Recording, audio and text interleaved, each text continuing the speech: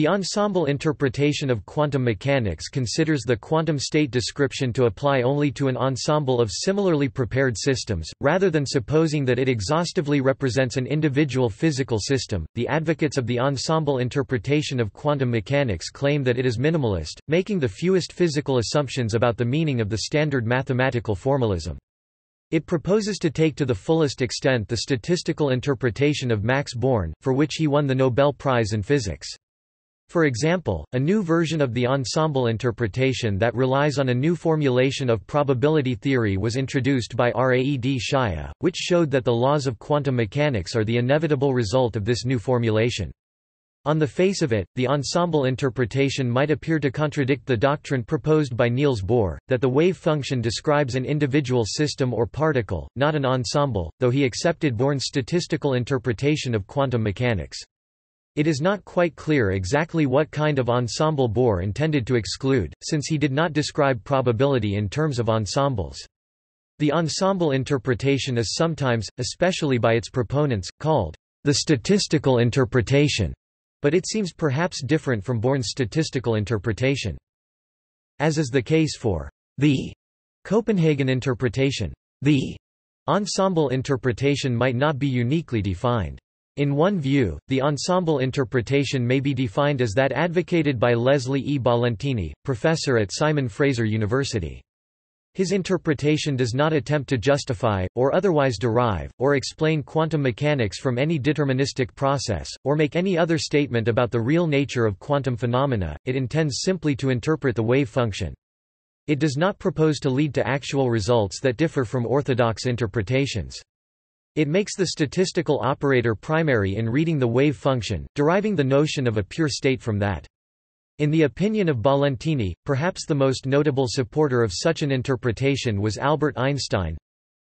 The attempt to conceive the quantum theoretical description as the complete description of the individual systems leads to unnatural theoretical interpretations, which become immediately unnecessary if one accepts the interpretation that the description refers to ensembles of systems and not to individual systems.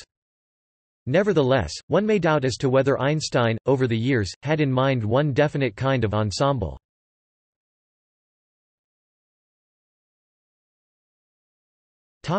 Meaning of «ensemble» and «system» Perhaps the first expression of an ensemble interpretation was that of Max Born. He used the German words Haufen gleicher, which are often translated into English, in this context, as ensemble or assembly. The atoms in his assembly were uncoupled, meaning that the ensemble was an imaginary set of independent atoms that defines its observable statistical properties. Born did not write there of an ensemble of instances of a certain kind of wave function, or of one composed of instances of a certain kind of state vector. There may be room here for confusion or miscommunication. An example of an ensemble is composed by preparing and observing many copies of one and the same kind of quantum system. This is referred to as an ensemble of systems. It is not, for example, a single preparation and observation of one simultaneous set ensemble of particles. A single body of many particles, as in a gas, is not an ensemble of particles in the sense of the ensemble interpretation. Although a repeated preparation and observation of many copies of one and the same kind of body of particles may constitute an ensemble of systems, each system being a body of many particles. The ensemble is not in principle confined to such a laboratory paradigm, but may be a natural system conceived of as occurring repeatedly in nature. It is not quite clear whether or how this might be realized. The members of the ensemble are said to be in the same state, and this defines the term state. The state is mathematically denoted by a mathematical object called a statistical operator. Such an operator is a map from a certain corresponding Hilbert space to itself, and may be written as a density matrix. It is characteristic of the ensemble interpretation to define the state by the statistical operator. Other interpretations may instead define the state by the corresponding Hilbert space. Such a difference between the modes of definition of state seems to make no difference to the physical meaning. Indeed, according to Ballentine, one can define the state by an ensemble of identically prepared systems, denoted by a point in the Hilbert space, as is perhaps more customary. The link is established by making the observing procedure a copy of the preparative procedure. Mathematically, the corresponding Hilbert spaces are mutually dual. Since Bohr's concern was that the specimen phenomena are joint preparation observation occasions, it is not evident that the Copenhagen and ensemble interpretations differ substantially in this respect. According to Ballentine, the distinguishing difference between the Copenhagen interpretation C and the ensemble interpretation A is the following C, a pure state Y display style Y rangle provides a complete description of an individual system in the sense that a dynamical variable represented by the operator Q display style operator name Q has a definite value. Q q. Say if and only if q y equals q y display style operator name q y rangle equals q y rangle a, a pure state describes the statistical properties of an ensemble of identically prepared systems, of which the statistical operator is idempotent. Ballentine emphasizes that the meaning of the quantum state, or state vector, may be described, essentially, by a one-to-one -one correspondence to the probability distributions of measurement results, not the individual measurement results themselves. A mixed state is a description only of the probabilities p chi 1 display style math call p chi underscore 1 and p chi 2 display style math call p chi underscore 2 of positions, not a description of actual individual positions. A mixed state is a mixture of probabilities of physical states, not a coherent superposition of physical states.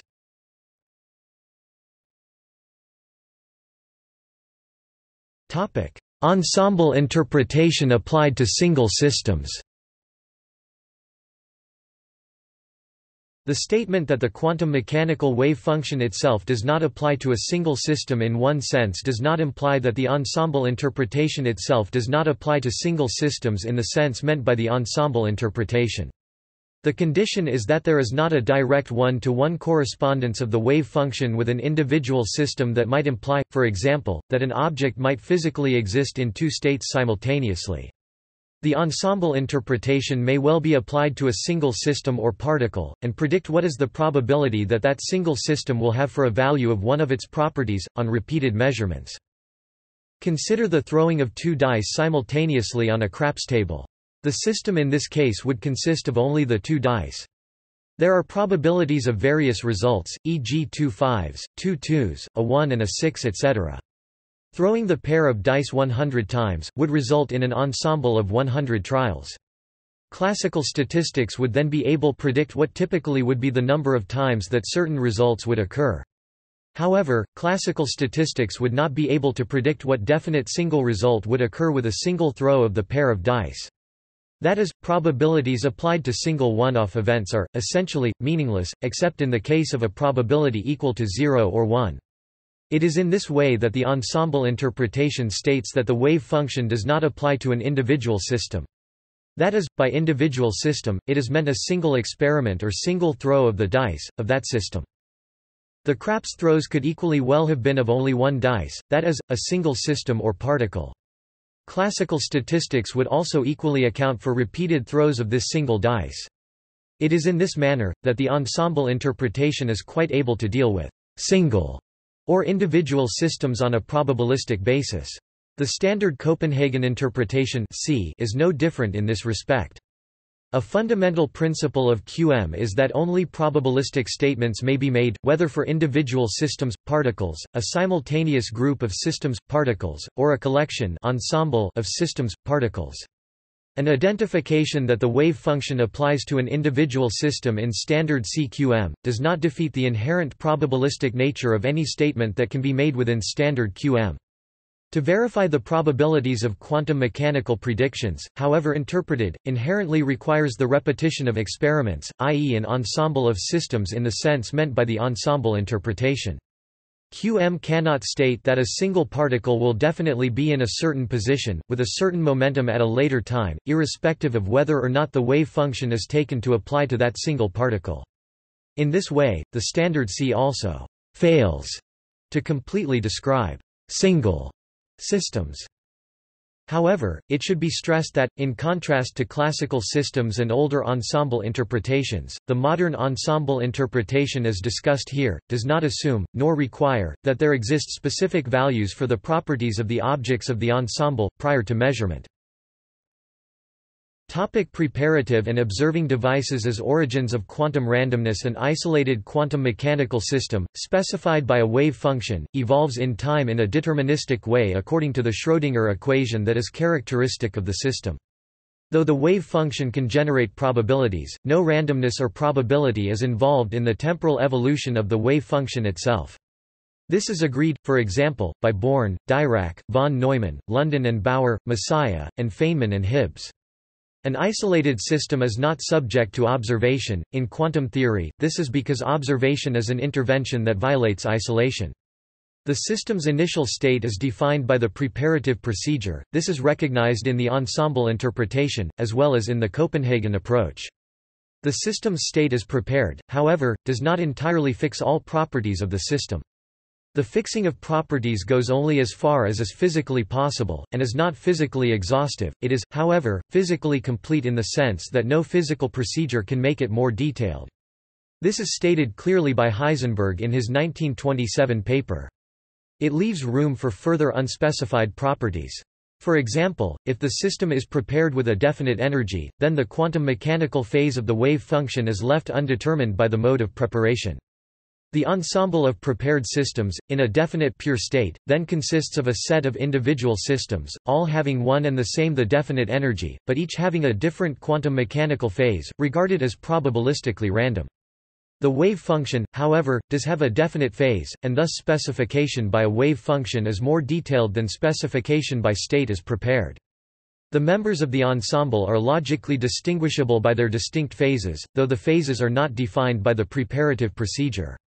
The wave function can be multiplied by a complex number of unit magnitude without changing the state as defined by the preparative procedure. The preparative state, with unspecified phase, leaves room for the several members of the ensemble to interact in respectively several various ways with other systems. An example is when an individual system is passed to an observing device so as to interact with it. Individual systems with various phases are scattered in various respective directions in the analyzing part of the observing device, in a probabilistic way. In each such direction, a detector is placed, in order to complete the observation. When the system hits the analyzing part of the observing device, that scatters it, it ceases to be adequately described by its own wave function in isolation. Instead it interacts with the observing device in ways partly determined by the properties of the observing device. In particular, there is in general no phase coherence between system and observing device. This lack of coherence introduces an element of probabilistic randomness to the system-device interaction. It is this randomness that is described by the probability calculated by the Born rule. There are two independent originative random processes, one that of preparative phase, the other that of the phase of the observing device. The random process that is actually observed, however, is neither of those originative ones. It is the phase difference between them, a single derived random process.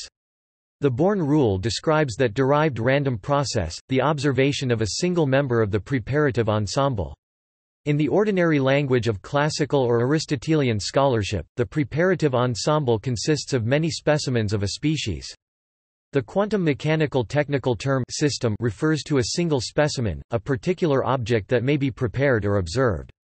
Such an object, as is generally so for objects, is in a sense a conceptual abstraction, because, according to the Copenhagen approach, it is defined, not in its own right as an actual entity, but by the two macroscopic devices that should prepare and observe it.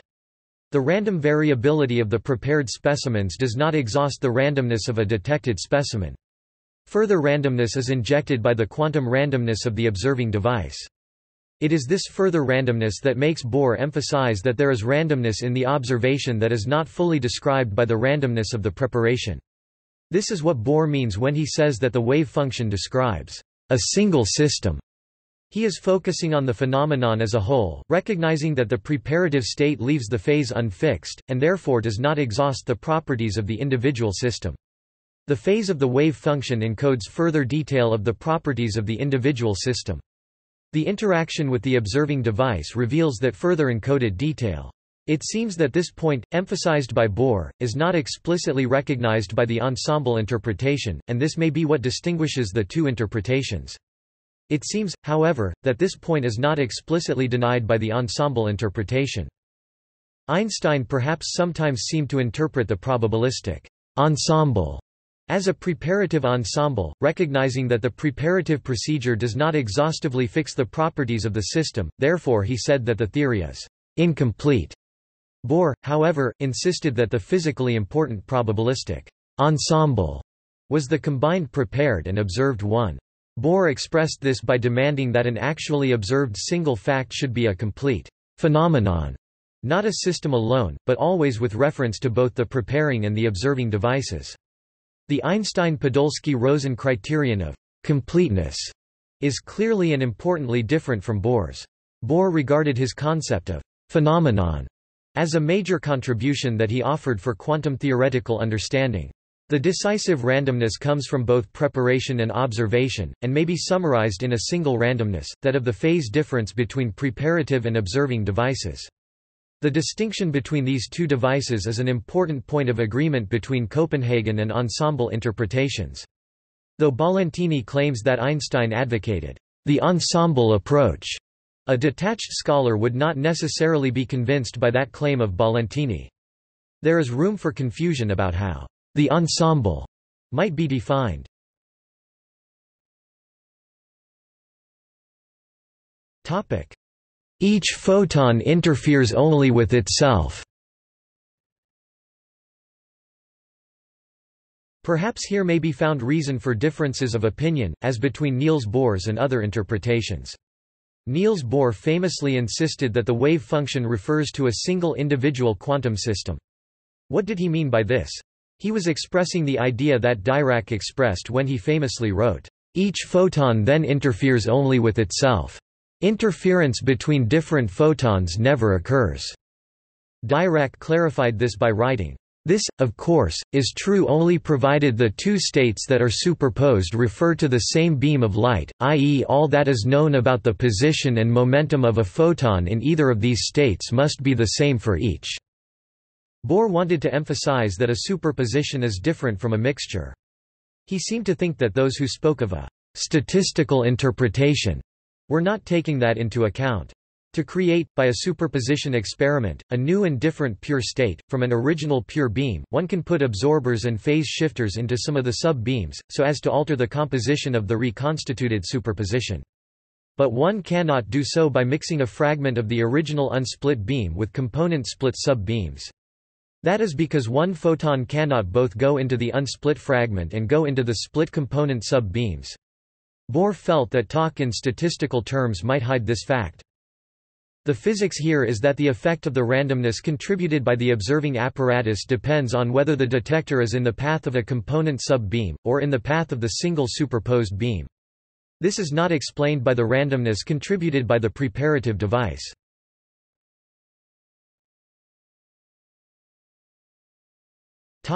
Measurement and collapse.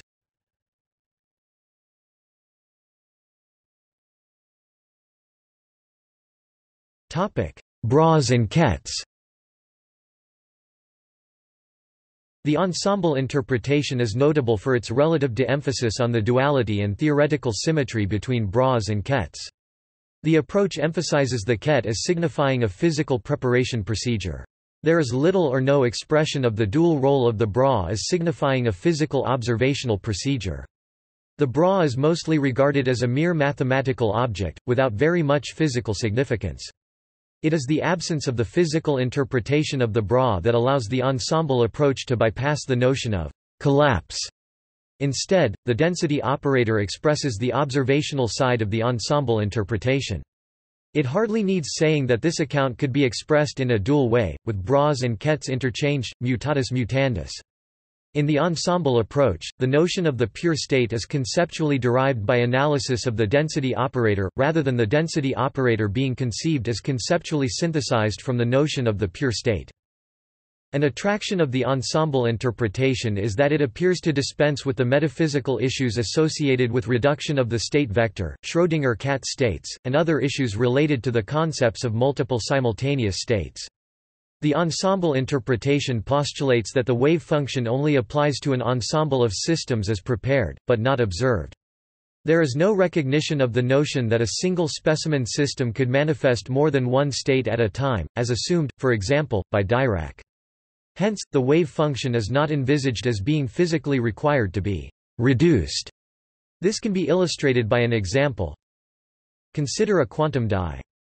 If this is expressed in Dirac notation, the state of the die can be represented by a wave function describing the probability of an outcome given by psi equals 1 plus 2 plus 3 plus 4 plus 5 plus 6 6 Display style psi rangle equals frac 1 rangle plus 2 rangle plus 3 rangle plus 4 rangle plus 5 rangle plus 6 rangle sqrt 6 where it should be noted that the plus Sign of a probabilistic equation is not an addition operator, it is a standard probabilistic or Boolean logical OR operator. The state vector is inherently defined as a probabilistic mathematical object such that the result of a measurement is one outcome OR another outcome. It is clear that on each throw, only one of the states will be observed, but this is not expressed by a bra. Consequently, there appears to be no requirement for a notion of collapse of the wave function, reduction of the state vector, or for the die to physically exist in the sum state. In the ensemble interpretation, wave function collapse would make as much sense as saying that the number of children a couple produced, collapsed to 3 from its average value of 2.4. The state function is not taken to be physically real, or be a literal summation of states. The wave function, is taken to be an abstract statistical function, only applicable to the statistics of repeated preparation procedures. The ket does not directly apply to a single particle detection, but only the statistical results of many. This is why the account does not refer to bras, and mentions only kets.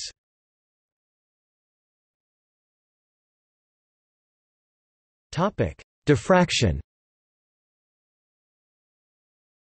The ensemble approach differs significantly from the Copenhagen approach in its view of diffraction. The Copenhagen interpretation of diffraction, especially in the viewpoint of Niels Bohr, puts weight on the doctrine of wave-particle duality. In this view, a particle that is diffracted by a diffractive object, such as for example a crystal, is regarded as really and physically behaving like a wave, split into components, more or less corresponding to the peaks of intensity in the diffraction pattern. Though Dirac does not speak of wave-particle duality, he does speak of conflict between wave and particle conceptions. He indeed does describe a particle, before it is detected, as being somehow simultaneously and jointly or partly present in the several beams into which the original beam is diffracted. So does Feynman, who speaks of this as mysterious the ensemble approach points out that this seems perhaps reasonable for a wave function that describes a single particle, but hardly makes sense for a wave function that describes a system of several particles. The ensemble approach demystifies this situation along the lines advocated by Alfred Landé, accepting Duane's hypothesis. In this view, the particle really and definitely goes into one or other of the beams, according to a probability given by the wave function appropriately interpreted. There is definite quantal transfer of translative momentum between particle and diffractive object. This is recognized also in Heisenberg's 1930 textbook, though usually not recognized as part of the doctrine of the so-called Copenhagen interpretation. This gives a clear and utterly non-mysterious physical or direct explanation instead of the debated concept of wave function collapse. It is presented in terms of quantum mechanics by other present-day writers also, for example, Van Vliet. For those who prefer physical clarity rather than Mysterianism, this is an advantage of the ensemble approach, though it is not the sole property of the ensemble approach. With a few exceptions, this demystification is not recognized or emphasized in many textbooks and journal articles.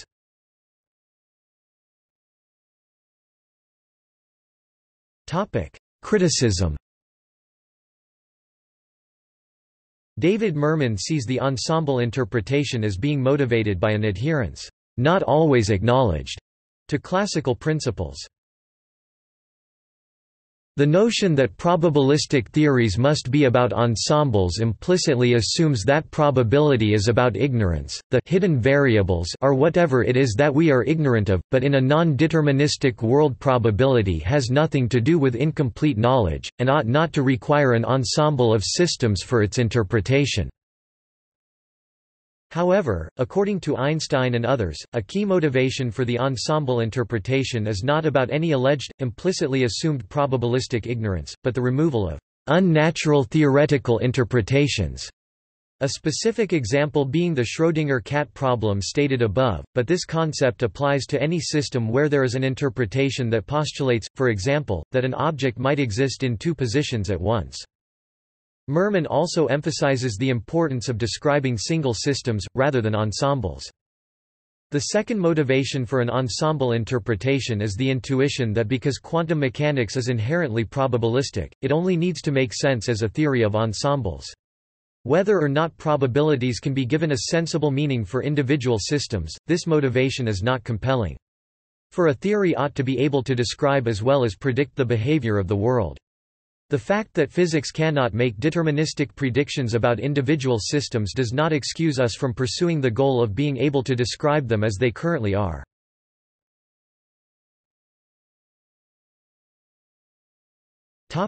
Single particles According to proponents of this interpretation, no single system is ever required to be postulated to exist in a physical mixed state so the state vector does not need to collapse. It can also be argued that this notion is consistent with the standard interpretation in that, in the Copenhagen interpretation, statements about the exact system state prior to measurement cannot be made.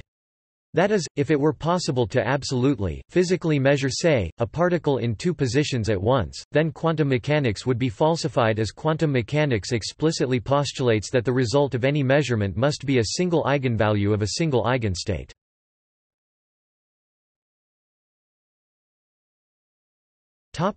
Criticism. Arnold Neumaier finds limitations with the applicability of the ensemble interpretation to small systems. Among the traditional interpretations, the statistical interpretation discussed by Ballentine and Rev. Mod. Phys. 42, 358 to 381, 1970 is the least demanding assumes less than the Copenhagen interpretation and the many worlds interpretation and the most consistent one. It explains almost everything, and only has the disadvantage that it explicitly excludes the applicability of QM to single systems or very small ensembles such as the few solar neutrinos or top quarks actually detected so far, and does not bridge the gulf between the classical domain for the description of detectors and the quantum domain for the description of the microscopic system. Spelling amended. However, the ensemble of the ensemble interpretation is not directly related to a real, existing collection of actual particles, such as a few solar neutrinos, but it is concerned with the ensemble collection of a virtual set of experimental preparations repeated many times. This ensemble of experiments may include just one particle, one system or many particles, many systems. In this light, it is arguably, difficult to understand Neumaier's criticism, other than that Neumaier possibly misunderstands the basic premise of the ensemble interpretation itself.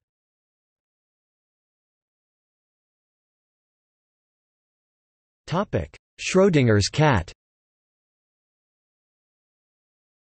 The ensemble interpretation states that superpositions are nothing but subensembles of a larger statistical ensemble.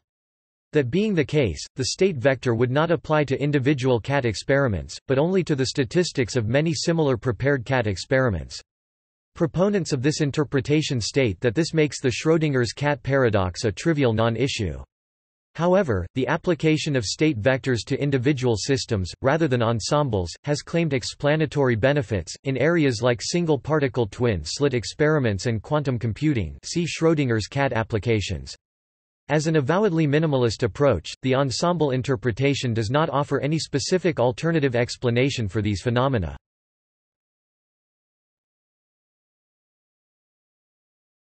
The frequentist probability variation The claim that the wave-functional approach fails to apply to single-particle experiments cannot be taken as a claim that quantum mechanics fails in describing single-particle phenomena. In fact, it gives correct results within the limits of a probabilistic or stochastic theory. Probability always requires a set of multiple data, and thus single-particle experiments are really part of an ensemble—an ensemble of individual experiments that are performed one after the other over time. In particular, the interference fringes seen in the double-slit experiment require repeated trials to be observed.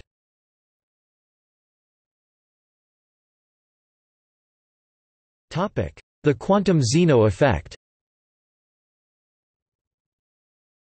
Leslie Ballentine promoted the ensemble interpretation in his book Quantum Mechanics, A Modern Development.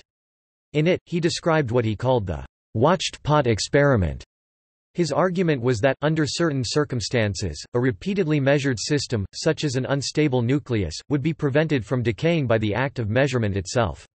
He initially presented this as a kind of reductio ad absurdum of wave function collapse. The effect has been shown to be real. Ballentine later wrote papers claiming that it could be explained without wave function collapse.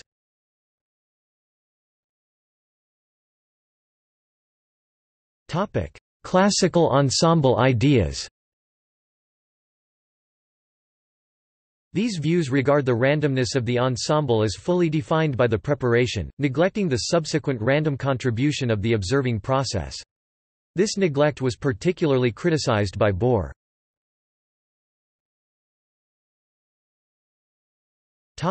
Einstein Early proponents, for example Einstein, of statistical approaches regarded quantum mechanics as an approximation to a classical theory. John Gribbin writes, the basic idea is that each quantum entity such as an electron or a photon has precise quantum properties such as position or momentum and the quantum wave function is related to the probability of getting a particular experimental result when one member or many members of the ensemble is selected by an experiment. But hopes for turning quantum mechanics back into a classical theory were dashed.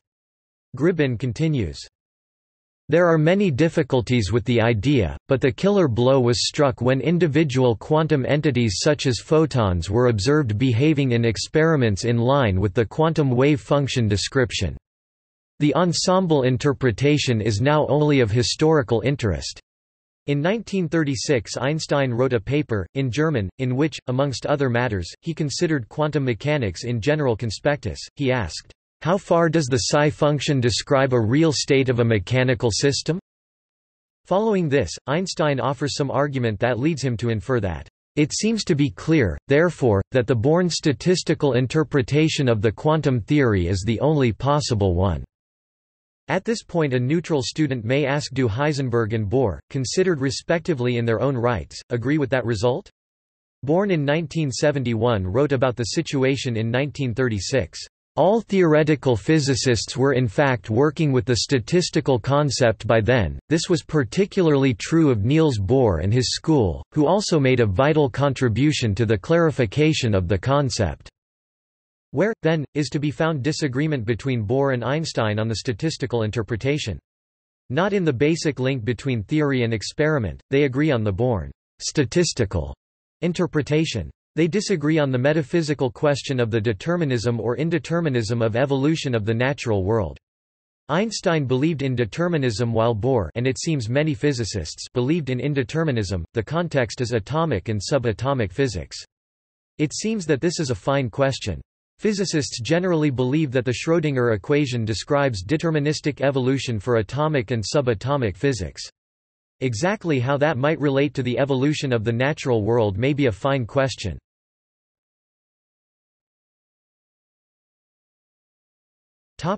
Objective realist version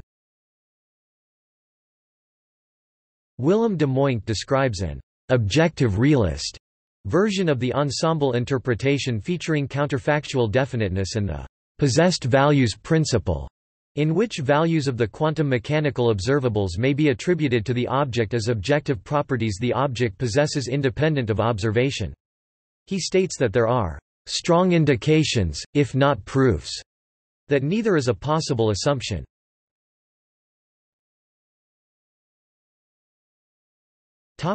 See also. Atomic electron transition. Interpretations of quantum mechanics